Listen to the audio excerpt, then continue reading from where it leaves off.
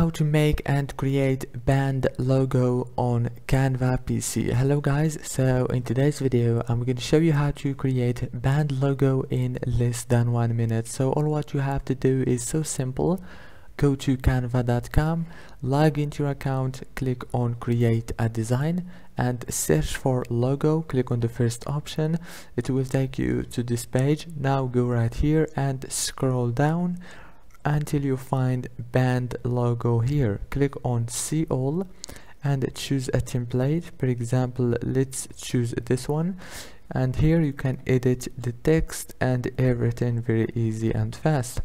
And it looks so professional as you can see. After you finish click here click download.